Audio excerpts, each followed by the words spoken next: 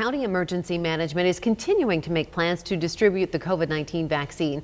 Right now, health officials are waiting to set timelines on who will receive the vaccine and when. KCCI's Cynthia Fodor listened in on their weekly meeting this afternoon. Cynthia? Well, Stacey, Polk County health officials say the Pfizer vaccine arrived this week, as you just heard, with 975 doses given to Mercy One and Unity Point. They say those hospitals then shared with Broadlawns for their healthcare workers. The team says the VA hospital is expected to receive vaccine directly from the federal government this week.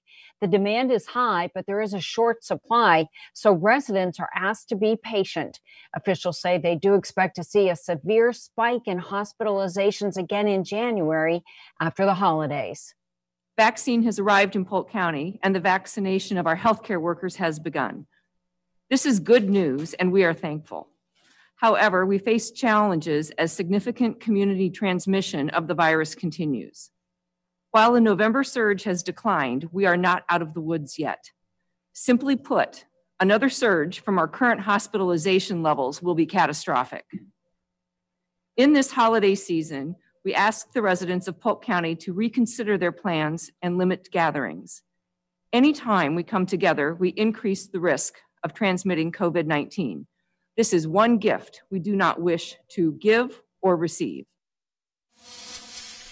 Now, health officials are still waiting for the Iowa Disease Advisory Council to list which priority groups, such as law enforcement or teachers or inmates, will receive the vaccine next after healthcare workers and those in nursing homes.